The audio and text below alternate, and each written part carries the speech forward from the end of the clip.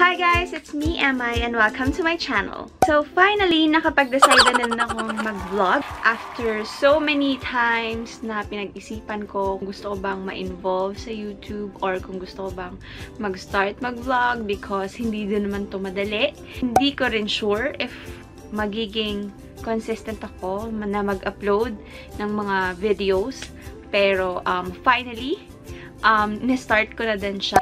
And wala din talagang, wala din talaga tong vlog na to. Na-motivate lang ako na mag-vlog sa dami ng napapanood ko din online. And syempre, most of my friends din kasi na nagsasabi na I should try to vlog.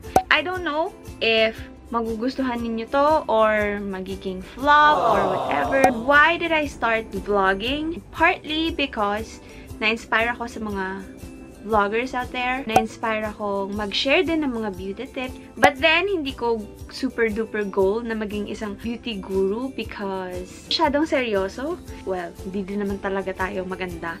Ayoko maging seryosong beauty guru. Tong channel na to, what you will see here are mostly about beauty, mostly about beauty products and stuffs na ginagamit ko. 5 minute makeup challenge. Para lang medyo fun din yung channel. I hope you guys will like the contents na mga ilalagay ko dito sa YouTube channel ko.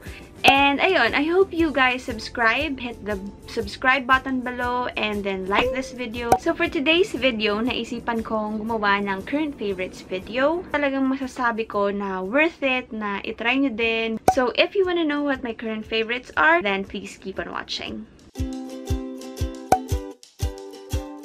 First, ito yung pinaka-staple ng makeup bag ko. Ever since I tried it, I never switched to any other product. This is the Shiseido Sheer Mattifying Compact. I already have the refill for it, and obviously nag-hit pa na rin ako. So, ito siya, sa lalagyan niya. As in, years ko nang ginagamit ever since I think um 2012, 2011. I have an oily combination skin. Dry dito oily sa T-zone. As in, ilang minutes lang, nagiging oily na agad siya. So, I really like this compact. It keeps the oil away. I swear by this product. I've never used any other mattifying foundation. Ito lang talaga. Maganda yung coverage niya. You can have sheer to medium coverage with it. It will literally transform your face from parang walang tulog to mukha na siyang fresh ulit. So, yun. I recommend you try this one, guys. Give it a try. I think this retails for 1,650. I'm not sure if ganun pa rin. Uh, but the last time I bought it, yeah, it retailed for 1,650. Available siya sa mga SM department stores. And then, next naman natin is mascara. My second uh, current favorite is the Heroin Make Long and Curl Mascara. This is super waterproof. Ang pinaka gusto ko dito sa mascara na to is that does the job of maintaining the curls of your lashes. Super waterproof siya. Mahirap siyang tanggalin actually. Hindi mo siya matatanggal with just soap and water. Um, I always buy the Maybelline Cup Remover. Yung, may, yung oil-based. Yun, yun yung pangtanggal ko sa kanya. Yun lang yung nakakatanggal sa kanya. You can wear it kahit mag-swimming ka, it won't smudge on your eyes. And this one, na-discover ko siya because of another beauty guru. That is Miss Anna Kai. Hi, Miss Anna! Super fan po ako. So, I always watch her YouTube videos and sobrang cool niya. Sobrang um, down-to-earth niya. Ay! Nakita ko na siya once before sa sa Eastwood. Naglalakad siya. But then, nahiya akong pansinin siya. So, hi, Miss Anna, if you're watching. I'm a fan. Ayan. Third on my current favorites list is the Etude House Drawing Eyebrow. This is a brow liner. I use it every single day to shape my brows. I'm in the shade 01. Yun yung pinaka-natural sa hair color ko. But I also tried to use, I think, 02 before nung nag-lighten yung color ng hair ko. This is a staple din sa makeup kit ko because I like it. Ah, nawala na yung takip ng uh, sa spoolie part niya uh, may takip to. And then, ito siya. I like it kasi very precise yung pag-apply mo ng brows when you use it. Kasi meron siyang slanted tip. So, very precise yung pag-apply mo ng brows pag ginagamit mo to. Hindi siya mahirap i-apply. Kasi merong mga brow liners na ang hirap i-apply. Parang ilang swipe na hindi pa rin kumukulay. And retractable yung structure niya. So, hindi mo na kailangan mag tasa-tasa pa. Very convenient and it's super nice. So, I like it. Number 4 on my current favorites list is this KJM Cheek and Lip tint. I have two of this. The first one is in the color Fused. second one is in the color Bloodshot. What I do here is that ito, pang cheeks, and then ito yung pang lips. Very natural looking. Ito kasi, um, ayoko kasi siyang gawin na parang lalagay ko sa cheeks and then ilalagay ko din sa lips. Unhygienic. Yung dalawa na separate na pang-apply sa lips and then pang, isa pang-apply sa cheeks. Ito yung pang cheeks, yung uh, shade na fused. Para siyang violet dito eh, but then when you put it on your cheeks, pinkish siya pag nilagay mo sa cheeks mo. Next naman is yung Bloodshot. Super natural looking siya sa lips. Also, non-drying, so I like it. Yan. These two are... Oh, nalagyan. So, yun. Ito yung pang number 4. Next item on my list is the Sephora Long Lasting Kohl Pencil. This is in the shade 01 Intense Black. Sobrang dali niyang i-apply sa waterline. Isang swipe lang. Kasi merong mga eyeliners na ang hirap-hirap i-apply. Especially kapag mga naluluha. Yung mga hindi sanay na mag-makeup. Ang dali-dali niyang i-apply. Kasi hindi ko na kailangan na idiin pa or ipaulit-ulit pa. Just one swipe and okay na siya. Next on my list is this NARS blush in the shade Orgasm. So, eto siya.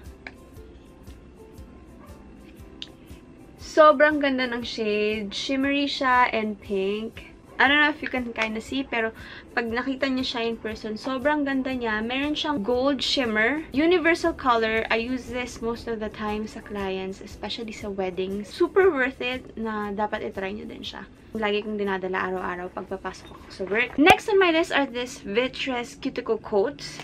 So, I have two of this. One is the red one, the Vitreous Cuticle Coat um, Instant Relax. Green one, the Vitreous Cuticle Coat in Heat Protect. I use both of this lately. Um, lagi ko lang kinukuha yung Heat Protect since minsan nagpa-plancha rin ako ng hair. Protection na rin sa hair ko. And it makes my hair really, really smooth.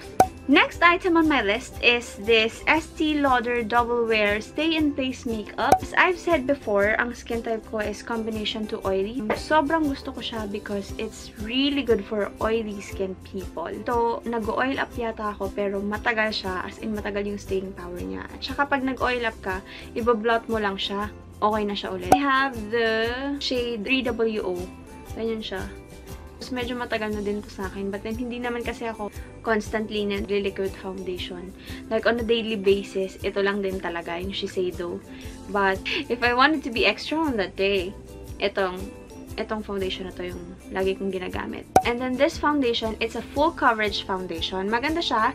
It hides all your flaws and imperfections sa face. Also, this one, it doesn't highlight my pores. There are liquid foundations that highlights my pores. Kapag na-highlight yung pores ko, hindi ko gusto. So talaga, proven it doesn't highlight my pores. The only drawback that I can see about this foundation is that when you are going to be uh, attending an event with a lot of flash photography uh, involved in it, medyo meron siyang flashback because of the SPF. This is SPF 10. But then, daanin mo na lang sa contour and bronzer. So, yan. I really like this. Next on my list is this one. This is the Bello Sun Expert Perfecting Shield Tinted Sunscreen. Naging staple na siya ng makeup kit ko. I always apply this every day. Even if it's raining outside, I always try to put it. Pag nalagay mo siya, parang biglang naguglow yung skin mo. This one is really nice. So it says here, this is SPF 50 and PA+++++. Apat na plus yon So, sabi dito, it ensures broad spectrum protection against harmful UV rays, has tone adapt technology so it evens out skin tone, conceals fine lines, wrinkles, which I really need because meron na nga akong uneven skin tone, meron na din akong fine lines. And it also has Cell Protect which strengthens skin's defense against premature skin aging. Mm. It's also paraben-free, non-comedogenic, hypoallergenic, and dermatologist tested, of course, because it's from Mellow. Next on my list is this Hoola bronzer. This is from Benefit Cosmetics. It comes with this brush. Nalaglag.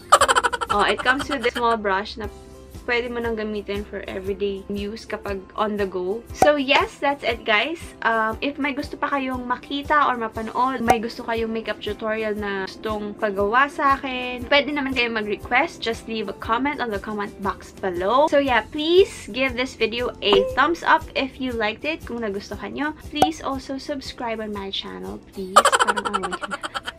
Thank you so much guys for watching and see you on my next video. Bye!